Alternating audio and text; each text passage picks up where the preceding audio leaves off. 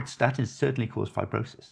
They do specifically cause fibrosis. They cause really. fibrosis in the liver, and Well, that's happening more and more. Yeah. I'm hearing that from a lot of people coming through Yeah. the, the clubs where they're saying, doctors saying at a low level, take that on the just in case preventative basis. And, well, that's clearly not a good idea. no, the, the, we've scanned a lot of people on long-term statins.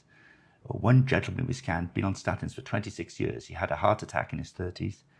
Now, you know, mature gentleman, tested twice a year with uh, his liver function tests, always normal, never once had a blip. But he had fibrosis on his on his fibroscan. Wow. So his cholesterol scores in that case, what would they have been when he's being tested? If he's very normal in his blood Yeah. testing. Yeah, yeah, his cholesterol scores were in the normal range, Regular so it was level. doing it was doing its job. Yes, of course. But uh, so plus side low in cholesterol, negative, it was causing scarring in the liver. Wow. Uh, so you've got to be careful. I mean, Yeah. There are no hmm. drugs that are that, that are side effect free.